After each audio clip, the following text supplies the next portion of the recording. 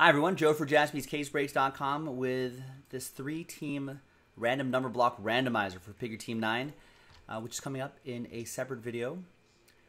This is pretty good.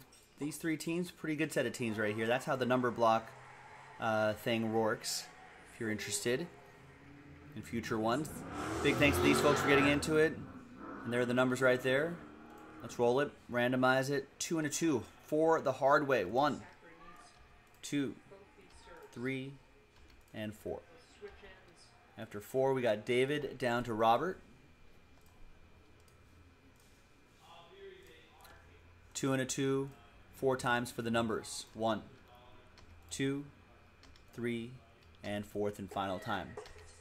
Six down to eight. Now, as a friendly reminder, zero. I'm sure everyone read the description, but zero does get any and all redemptions for those three teams down there, including one of one redemptions. How often does that happen? Not very often. But just have to put that out there. But it's a moot point because Michael has both zero and one. Applause.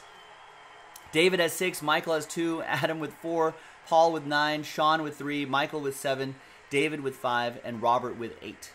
Let's sort by column B. Let's sort numerically. And coming up in a separate video will be the break itself, jaspyscasebreaks.com. Bye-bye.